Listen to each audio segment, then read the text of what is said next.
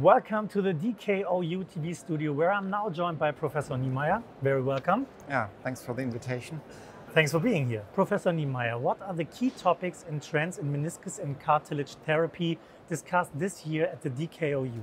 So basically, when we're talking about the meniscus and the cartilage, we are talking about joint preservation, which is definitely a topic which gains of relevance since middle-aged or even older patients are more and more active and uh, our ultimate goal is actually to avoid any kind of total joint replacement. What we definitely will be discussing this year is the importance of the meniscus. We have really had some new publications that show that the meniscus is no, not only a buffer in the joint, but it's only relevant for stability. We know much about the interaction between the meniscus on the one hand side and the cartilage on the other hand side, and I'm really looking forward to join these sessions. So what are some of the key challenges in current therapy of meniscus and cartilage conditions?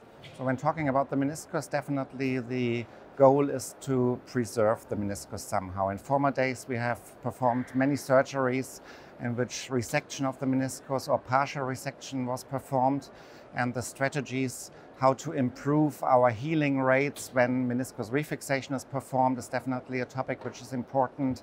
Biological augmentation and as I said before, the interaction to the articular cartilage. Why is this topic for you interesting privately, personally? I'm also a sportive person. I'm, I uh, want to stay active even uh, once I'm getting older, as everybody of us uh, is. And uh, I st strongly believe that initial trauma, for instance, is one of the key parameters which might induce an osteoarthritis. And uh, therefore, the strategies to deal the initial injury is definitely something which I'm personally also interested in. What are your predictions for the future? So what we learned referring to cartilage uh, repair strategies, we have introduced some really innovative uh, treatment options in recent years. For instance, autologous cell transplantation, which has been introduced in the 90s. And we have also introduced, talking about the meniscus, about complex suturing techniques and refixation techniques. And bringing these together is definitely something which I believe is a challenge for the future.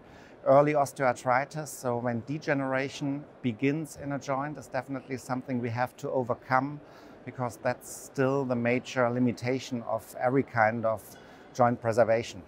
So if we take a look back to the last 20 years, what was the most important step in this topic? What do you think? In my opinion, actually the most important step was that we learned to deal with acute injuries somehow, talking about cartilage repair. But we never really learned to deal with chronic injuries and chronicity, inflammation in the joint. And uh, that's, as I said before, the challenge which I consider most important for the future.